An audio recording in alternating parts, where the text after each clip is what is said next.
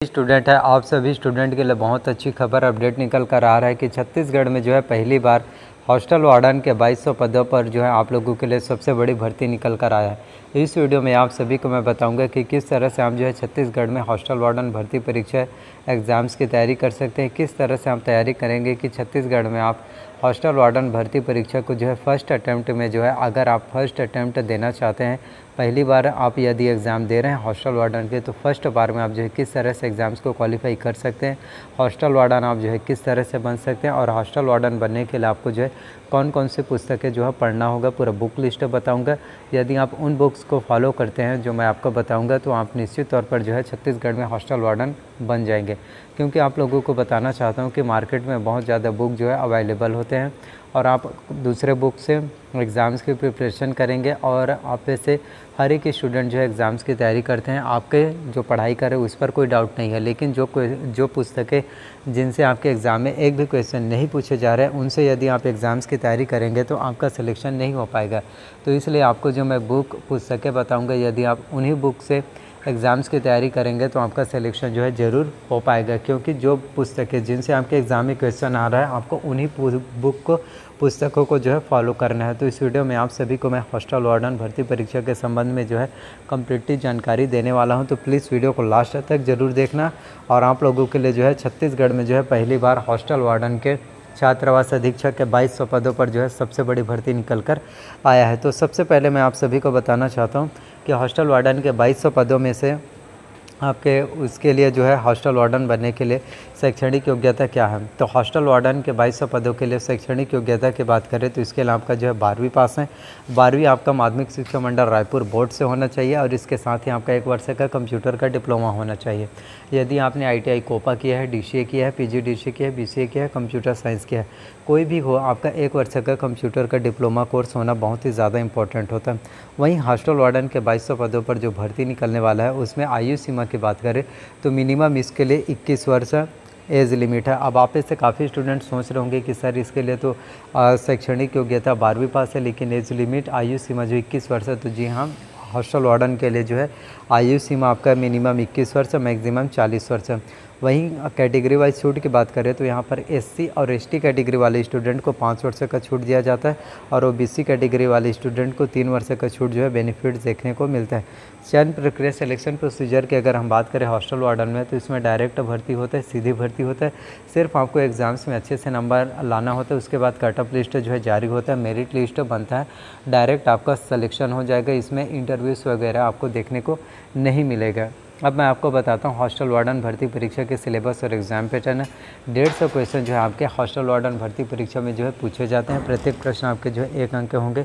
One by four आपका जो है निगेटिव मार्किंग, माइनस मार्किंग देखने को मिलता है। तो कौन कौन से सब्जेक्ट से आपके एग्ज़ाम में क्वेश्चन पूछे जाएँगे? पूरा हर एक टॉपिक वाइज बताऊँगा और उस सब्जेक्ट वाइज बताऊँगा कि उस सब्जेक्ट के लिए आपको जो है कौन से बुक पढ़ना चाहिए। आपको बताना चाहता हूँ, यदि आप दस से बारह बुक से यदि आप एग्ज़ाम्स की तैयारी करेंगे तो आप जो है छत्तीसगढ़ में हॉस्टल वार्डन भर्ती परीक्षा एग्ज़ाम्स को जो है फ़र्स्ट अटैम्प्ट में ही क्वालिफाई कर सकते हैं। तो मैं आपको सिलेबस पूरे दिखाता हूँ ताकि आप लोगों को सिलेबस के बारे में जो है कम्प्लीटली जानकारी मिल सके, क्योंकि बिना सिलेबस की जानकारी के आप जो है किसी भी गवर्नमेंट जॉब वैकेंसी से जो आप हम एग्ज़ाम को क्वालिफाई नहीं कर पाएँगे।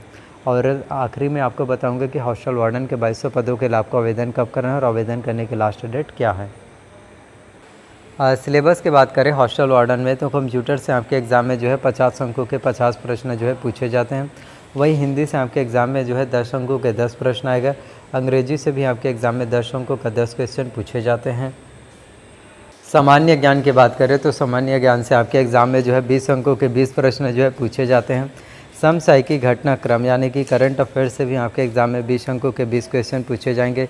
छत्तीसगढ़ की सामान्य जानकारी से बीस अंकों का बीस प्रश्न आएगा और गणित से भी आपके एग्ज़ाम में जो है बीस अंकों के बीस प्रश्न जो है पूछे जाते हैं। तो इस तरह से टोटल आपके एग्ज़ाम में जो है हॉस्टल वार्डन में 150 प्रश्न जो है पूछे जाते हैं। प्रत्येक प्रश्न जो है आपके एक अंक के होंगे। वहीं कंप्यूटर के सिलेबस की बात करें तो कंप्यूटर से आपके एग्ज़ाम में जो है पचास अंकों के पचास प्रश्न पूछे जाते हैं। तो कंप्यूटर के 50 प्रश्नों में से आपको कम से कम 25 अंक लाना अनिवार्य है। यदि आप कंप्यूटर में 50 में से 25 नंबर यदि आपका नहीं आता तो आपका सिलेक्शन नहीं हो पाएगा और आप जो है हॉस्टल वार्डन नहीं बन पाएँगे। आपको हॉस्टल वार्डन बनने के लिए जो है 50 में से 25 नंबर लाना अनिवार्य है। ये नया रूल और रेगुलेशन जो है जारी हुआ है आप सभी के लिए। वहीं कंप्यूटर सिलेबस की बात करें, आपको पूरा टॉपिक वाइज डिटेल्स वाइज बता रहा हूँ। तो कंप्यूटर के सिलेबस में कंप्यूटर का परिचय, कंप्यूटर के उपयोग, कंप्यूटर की सामान्य जानकारी, कंप्यूटर के प्रमुख भाग जिसमें आपका CPU input device output device की जानकारी प्रिंटर के प्रकार इंक जेट लेज़र जेट एवं अन्य सभी प्रकार की प्रिंटर की जानकारी ऑपरेटिंग सिस्टम की जानकारी एम एस ऑफ़िस में आपका M S word M S excel M S power point M S access की जानकारी internet email search engine web browser shortcut keys full forms इन सभी की जानकारी जो है कंप्यूटर से आपके एग्ज़ाम में क्वेश्चन पूछे जाते हैं।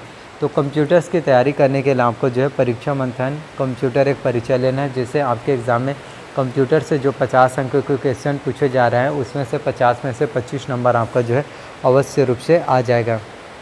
हिंदी के सिलेबस की बात करें तो हिंदी से आपके एग्ज़ाम में दस अंकों के दस क्वेश्चन पूछे जाते हैं, जिसमें आपका स्वर, व्यंजन, वर्तनी, वचन काल संज्ञा, सर्वनाम, विशेषण, क्रिया, प्रयोग समास, रचना प्रकार, संधि की जानकारी, उपसर्ग एवं प्रत्यय, तत्सम, तद्भव, देशज, पर्यावाची शब्द, विलोमार्थी, अनेकार्थी शब्द, मुहावरे व लोकोक्तियाँ।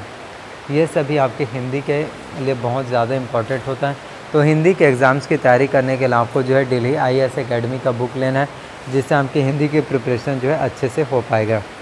वहीं इंग्लिश की बात करें तो इंग्लिश में आपका पूरा ग्रामर जो है पूछे जाते हैं। तो ग्रामर में आपका noun pronoun tense voice narration conjunction preposition article degree question tag one word substitution subordinate coordinate finite verb non finite verb precis writing ये सभी चीज़ें आपके एग्ज़ाम में इंपॉर्टेंट है।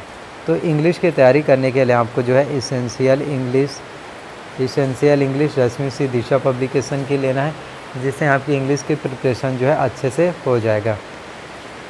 सामान्य ज्ञान की बात करें तो सामान्य ज्ञान के लिए आपको जो है टूटेजर ट्यूटोरियल्स का सामान्य ज्ञान लेना है।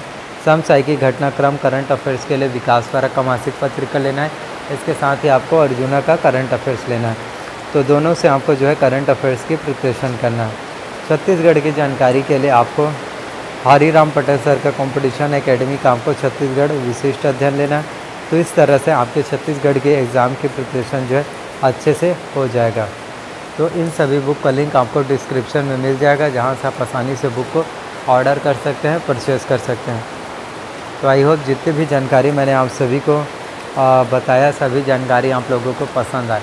अगर मेरे द्वारा दी गई हुई सभी जानकारी आप लोगों को पसंद आए तो प्लीज़ वीडियो को लाइक कीजिए चैनल को सब्सक्राइब कर लीजिए, साथ में बेल नोटिफिकेशन को भी ऑन करके रख लीजिए, ताकि जब भी मैं वीडियोस अपलोड करूँ, आप लोगों को जानकारी सबसे पहले मिल सके तो प्लीज़ वीडियो को ज़्यादा से ज़्यादा लोगों तक शेयर कीजिए। सो थैंक यू मिलते हैं अगले वीडियो में।